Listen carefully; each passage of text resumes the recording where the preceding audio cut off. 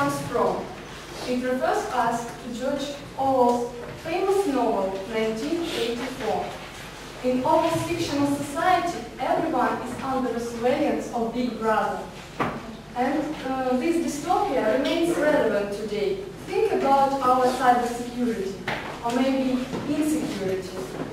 It seems that Orwell's Big Brother never gets old, and he's still watching us. Today, um, number of likes is an indicator of beauty. A thousand of followers is a sign of success. Our life is a worldwide web. We are a huge database. Do you disagree? Uh, well, um, just look at the map of the internet connected devices and remember my words, our world is a huge web. Two years ago, company Ubisoft released a computer game called uh, Watch Dogs. Uh, the main idea of this game is a cyber espionage. Um, and uh, the hero of this game uh, uses a smartphone instead of a weapon. So uh, this game, Watch Dogs, is, um, Watch Dogs is more than just a game. It's a reflection of our hyper-information society. During the creation of this game, authors followed the concept of the digital shadow. Digital shadows are the traces that live in the world of digital information connecting to the internet. Such trace is a prototype of a new type of electronic um, dossier or database, and this is our huge data avatar. Um, uh, but uh, we constantly send uh, to the internet the details of our lives. But who is going to collect all this information rubbish, you ask me? Um, in fact, there is such James Bond hiding under the nice name cookies. Uh, cookies uh, record our movements on the internet with one purpose, to learn uh, about our interests as much as possible.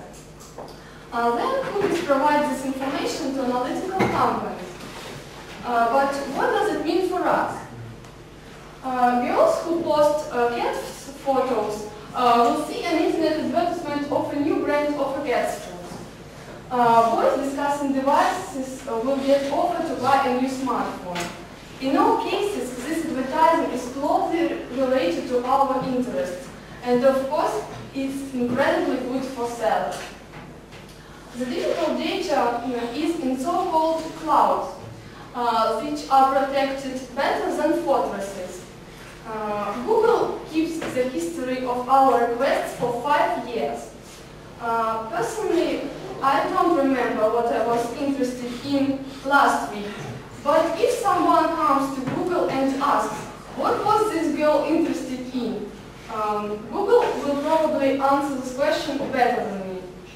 But do we have access to our data on the internet? Question. Um, uh, remember this phrase. Maria Gonzalez was the first who successfully defended a so-called right to be forgotten. On the internet, he found an announcement regarding the forced sale of his house arising from the debt. Uh, he asked, asked Google to remove this data because it was no longer relevant. Moreover, it harmed his business advisor career. But Google refused. Then uh, Maria appealed uh, to the Court of Justice of the European Union. And surprisingly, uh, Maria won the internet giant, and Google removed this data. Uh, then Peter Steiner created his famous cartoon with the caption, on the internet nobody knows you're a dog. Uh, the internet was pretty much terra incognita for most of people. A few years later, it was completely of its time. Uh, today, dating sites, uh, chat rooms, and forums are full of users who claim to be someone they are not. Uh, age, gender, race, appearance can all be fabricated under the veil of the internet. Uh, for example, uh, some time ago, uh, an account of um, Uma Compton and her scandalous songs uh, made a lot of noise in the English-speaking part of the internet. As it turned out, uh, this, this person was a fake. But this page on website Vkontakte belongs to real person Natalia Ulyanina, who lives in Moscow region in Russia. Uh, someone uh, simply gets photos from Natalia's page and uses them as photos of non-existent but popular singer. So you can see someone can uh, easily steal your face on the internet. Um, uh, some faces are instantly recognizable, uh, but your face is not, uh, or is it? Photographer from St. Petersburg uh, took photos of the strangers in public places and tracked them down recognition application, which scans uh, publicly available photos on the social media site Vkontakte. The photographer learned a lot about person's life without any contact. Uh, the experiment called Your Face is a Big Data was posted online. And the results highlight how people think that they are sharing information only with friends and families.